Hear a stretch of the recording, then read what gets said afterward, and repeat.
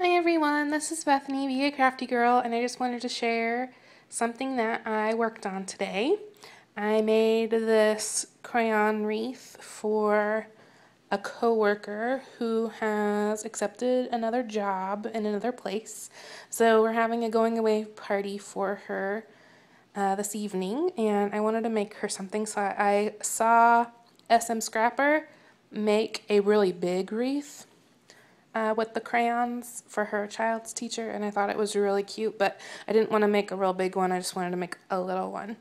And uh, so here it is. I used a box of 48 crayons and I had about 10 left over. I didn't use the browns, that's what I had left over. So uh, it took about, I want to say it was like 36 crayons is what it took to use. And I used uh, two smaller, sorry, I'm not in frame. I used two smaller hoops and I only used the, the inside of the embroidery hoop in hopes that I could, you know, stretch my luck a little farther and be able to make another one uh, some other time.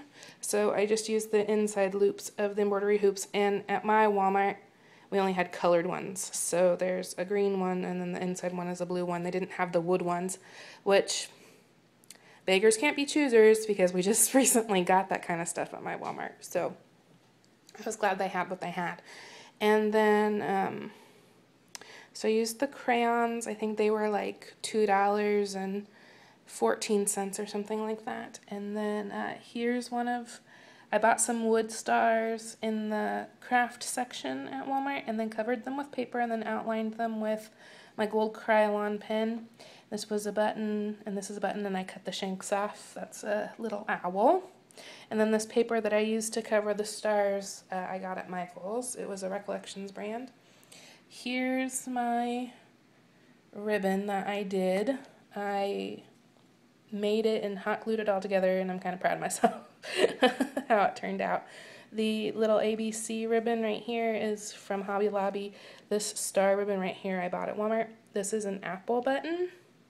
And then the loop is also with that star ribbon to hang it. Here's another star that I covered with paper and then a little notebook paper button. I thought that was really cute. And then I did my crayons in rainbow order. And I think it turned out super cute. I'm really proud of it. Because right there in the middle when I was gluing the crayons on, I wasn't real sure how it was going to work. but it ended up being really cute. I really like it a lot. And so I made her that, and then I also made her a little card to go with it. It is a three by four inch card. And I used the same paper that I used to uh, cover the stars on the wreath.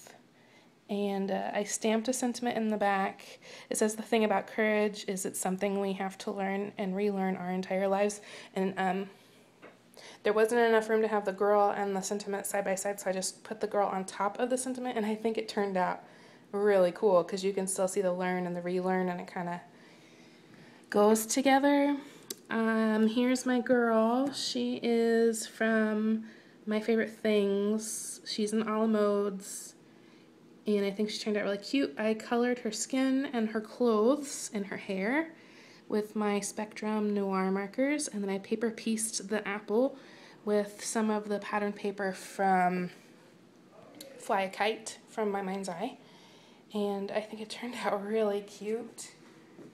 So there's the front again. And then on the inside I already wrote her a message. I just used the other die and some more pattern paper. So uh, that's my card and there's the wreath again. I think it turned out pretty good.